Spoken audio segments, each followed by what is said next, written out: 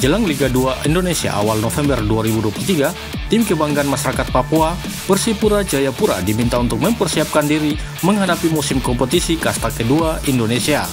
Hal itu ditegaskan Ketua Supporter Blackbird, Kurv Nor 1963, Persipura Jayapura Frankie Aburian Griapon, usai bertemu langsung manajemen Persipura Jayapura di Sekretariat Persipura Jayapura di Gedung Olahraga Waringin Kota Raja, Jumat 25 Agustus 2023.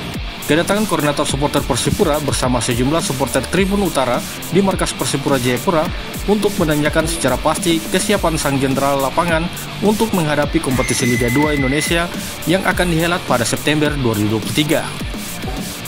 Selain itu, pihaknya juga memberikan sejumlah masukan terkait dukungan kepada pasukan Merah Hitam agar mempersiapkan seluruh penggawanya kembali merumput di Liga 2 Indonesia musim kompetisi 2023-2024 dari hasil pertemuan tadi bagi kami uh, kami juga cukup puas dengan uh, jawaban-jawaban dari manajemen yang tadi hadir Pak Dirut Pak Herata Lingkungan dengan uh, Sekum Pak Rocky Babena juga kami sempat uh, menyampaikan uh, beberapa bentuk uh, aspirasi kami agar tim ini bisa baik-baik saja ke depan juga.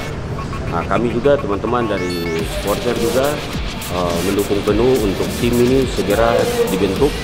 Pemain-pemain semua dikumpulkan untuk bersiap untuk menghadapi di Liga 1 nanti eh sorry Liga 2 pastinya kami juga ikut mendukung dan kami juga ikut mendukung dalam hal membangun komunikasi dengan pihak-pihak yang ada di luar sana untuk bisa ikut membantu Persipura. Dan manajemen dalam hal ini manajemen juga sudah siap untuk membangun koordinasi. Tadi kami sudah bertukar nomor langsung dengan Pak uh, Dirut siapa pun yang ingin uh, ikut mensponsori Persipura pastinya langsung kita bisa menghubungkan langsung dengan uh, Pak Dirut.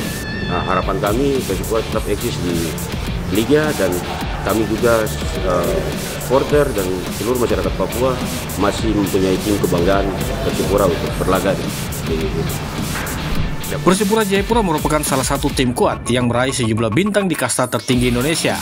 Namun Persipura Jayapura terdegradasi ke Liga 2 setelah menempati peringkat ke-16 pada klasemen akhir BRI Liga 1 musim kompetisi 2021-2022. Klub berjuluk Mutiara Hitam ini mengumpulkan 36 poin dari 34 pertandingan. Persipura yang meraih kemenangan 3-0 atas Persita Tangerang pada laga pamungkas tetap harus turun kasta. Dijadwalkan Persipura Jayapura akan melakukan latihan perdana di akhir bulan Agustus 2023. Dari Jayapura, Papua, tim liputan mengabarkan.